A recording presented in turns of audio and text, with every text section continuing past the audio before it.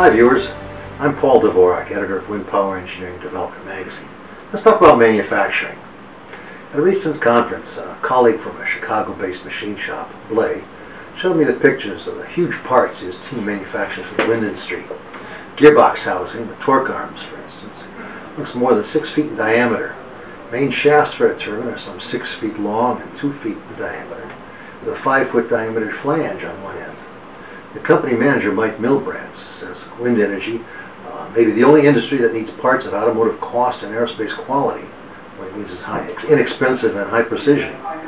His remark on quality also means that wind turbine parts must be made or repaired by trained and skilled machinists. But how do you find these people, I asked him.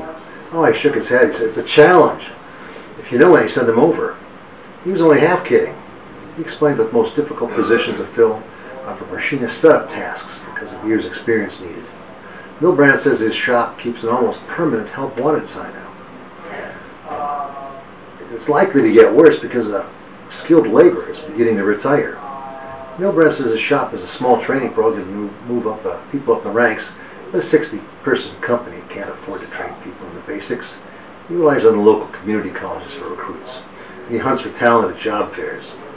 Others in the manufacturing industry echo Milbratz's comments. The good news is that starting salaries for these people right out of community college is about $15 an hour, or about $30,000 a year. It tops out at least $27 an hour. With overtime, bonuses, and tuition, reimbursement, and benefits, I'm told a six-figure income is possible. So why in an era of over 8% unemployment, probably more, does a career with decent pay, almost guaranteed employment, and respect go begging for workers? There are several theories. One is that the skilled trades are not promoted in schools anymore. The 60s and 70s, high schools and machine shops and metal shops along with drafting classes, those are mostly gone. The emphasis now is on college. Those who graduate from vocational schools are quickly snatched up by the industry, or they don't stay with the trade. Maybe they don't realize the machine tool is a computer peripheral, and although the job can get dirty, it's a lot cleaner than it once was. The average solution to the shortage is to once again promote the trades in high school, because not everyone is meant for college.